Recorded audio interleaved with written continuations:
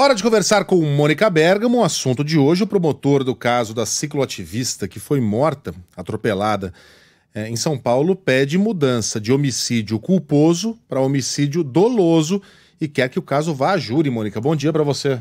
É isso, Megali, bom dia, bom dia a todos. Pois é, esse caso tão dramático e tão emblemático da violência, né, uh, no trânsito no Brasil, né, e agora o promotor de justiça Marcelo Salles Penteado, que atua nesse caso da ciclista Marina Coller Harcourt, pediu à justiça que o caso deixe de ser tratado como um homicídio culposo, como um mero acidente de trânsito e passe a ser considerado homicídio doloso, Megali, o que significa que o microempresário José Maria da Costa Júnior, que atropelou e matou a ciclista, deve ser julgado, segundo o promotor, não mais por um juiz, mas por um tribunal do júri. O que, que diz o promotor, eh, eh, Megali? Existem várias formas de se enquadrar um criminoso do trânsito. O primeiro, por homicídio culposo, quando, ou seja, não há dolo, não há intenção de matar. No caso, teria sido um acidente de fato. E assim a polícia tratou o microempresário no início. Num segundo momento, pela embriaguez que ficou comprovada, ele saltou para homicídio eh, culposo qualificado, ou seja, não era só mais um acidente, mas houve a qualificação da embriaguez, o que aumenta as penas. Mas com novas provas apresentadas pela família, sobreveio agora o homicídio doloso, no caso, por dolo eventual. O que, que, é isso? O dolo, existe o dolo direto, o dolo direto é quando você tem a intenção de matar uma pessoa. Eu pego uma arma, vou na casa do Megali, vou lá para matar e mato ele. O outro é quando você não tem essa intenção, não tem esse planejamento, mas você assume com as suas atitudes o risco de produzir essa morte. E o resultado é absolutamente indiferente para você. Então você bebe, dirige, você dirige e acelera, você acelera e atropela uma pessoa, atropela e não socorre essa pessoa, é, você não socorre e foge, deixa a sua vítima agonizando na via, é, depois você limpa o carro e apaga as impressões digitais do carro. Então, essa teria sido a atitude do José Maria da Costa Júnior. E escreveu aqui o promotor. O promotor escreveu o seguinte: a par da embriaguez em si, a notícia de que indiciado dirigia em velocidade excessiva e não só deixou de prestar socorro à vítima, como agiu com incrível frieza após o atropelamento, prosseguindo até sua casa, onde chegou ainda consumindo bebida alcoólica e em animado colóquio com os seus acompanhantes. Ou seja, tudo isso foi verificado aí nas investigações. Então, o promotor diz que eh, de tudo isso se depreende que efetivamente o resultado da morte foi aspas do promotor, absolutamente indiferente ao microempresário, que, portanto, assumiu o risco de produzir, ou seja, assumiu o risco de que as atitudes dele poderiam matar uma outra pessoa.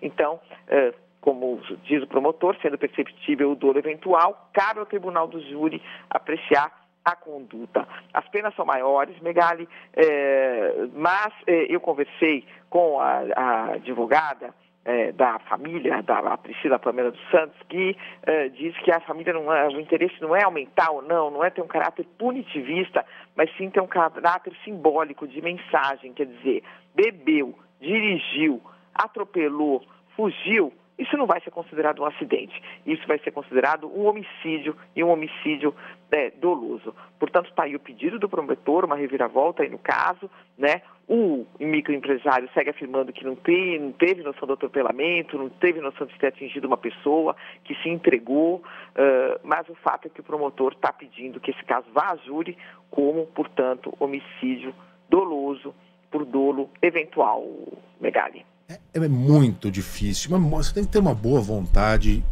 eu diria quase uma ingenuidade uh, hercúlea para acreditar que alguém atropela uma pessoa em uma bicicleta numa avenida em São Paulo, iluminada, bem iluminada, que é a Sumaré, e não perceba que você atingiu alguém.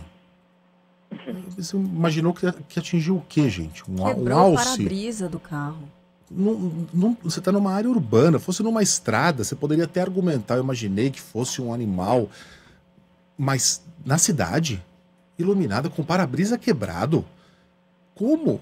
Como alguém pode acreditar que a pessoa não tenha percebido que atingiu um outro ser humano? E esse caso, né, Mônica, como você disse, ele tem todos os elementos, tem o um pacote completo. Ele tem o excesso de velocidade, quase 100 por hora, numa avenida em que o limite é de 50 50 ou 60, agora eu tô na dúvida. É 50. É 50, 50. ali na Sumaré, 50, né? ele tá, uhum. estava quase 100. Tem a bebida alcoólica, é, tem o fato de ele ter fugido e aparecido dois dias depois, que é o prazo suficiente para que não tenha mais como a bebida ser detectada no sangue. Tem o deboche involuntário, que é a câmera do elevador, do elevador ter é, captado é, esse homem sorrindo e brincando com a companheira. Ah, mas eu estava tentando acalmá-la. Acalmá-la por quê? Se, você, se vocês não perceberam que atingiram uma pessoa. Porque ela estaria nervosa. Uhum. É, tem tudo. Tudo. É, o que falta agora é a condenação. É, não vou nem dizer uma condenação dura, uma condenação de acordo com o crime cometido. Exato. É claro que esse é homicídio doloso. E a justiça também serve para ter um caráter educativo. No caso, educativo para esse motorista e educativo para a sociedade. Que vai perceber que talvez no Brasil é, você não, não possa mais correr esse risco de dirigir embriagado, porque você está aumentando é, sobremaneira o risco de atingir uma pessoa, de acabar com uma vida e de acabar com a sua também. Porque se isso acontecer, você não vai sair pela porta da frente sorrindo. É, Foi sem querer. Voltando para cá. Foi sem querer, desculpa aí, vida que segue. Eu queria pedir, não, perguntar a opinião de vocês, eu não sei se dá tempo, que é o seguinte, a Mônica está falando em júri popular para esse caso, né? Mas aí, Mônica, não aumenta talvez o risco de que ele seja inocentado? Porque a gente sabe, o Megali está dando todos os elementos, aí está muito claro o que aconteceu. Mas aí alguém pode dizer, ai, mas ela estava pedalando na faixa, ai, mas ela estava sem capacete. Ai, mas tava pedalando à noite. Sabe essas coisas assim? Ai, mas não tem ali o flagrante mostrando que ele realmente bebeu. Se chegar na hora H com as perguntas para os jurados, você tem certeza de que esse homem estava bêbado e, de, e, atropelou e fugiu sem prestar socorro é, de forma intencional?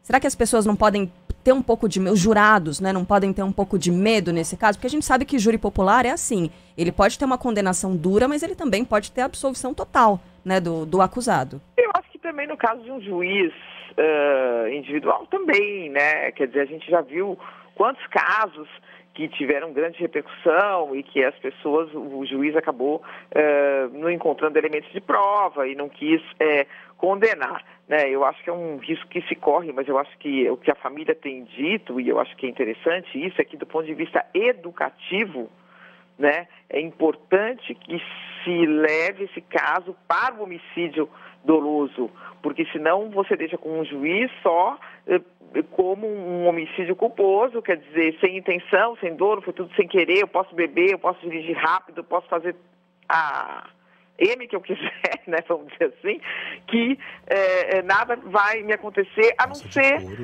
talvez, uma prisão, uma condenação de dois anos, réu primário, uh, não é regime fechado e vida que segue, né? Eu acho que uh, tem esse outro lado da educação, né? E, e, e, tem o risco realmente do tribunal do júri ser até bem mais duro do que um juiz, né? Então eu acho que é, é, é, é do sistema, né? Não dá para a gente prever o que, que os jurados vão achar. E, aliás, só Uh, lembrando aqui que o juiz ainda não decidiu que vai a júri, né? Isso foi um pedido do promotor. Certo. Vamos esperar o que, que o juiz vai decidir.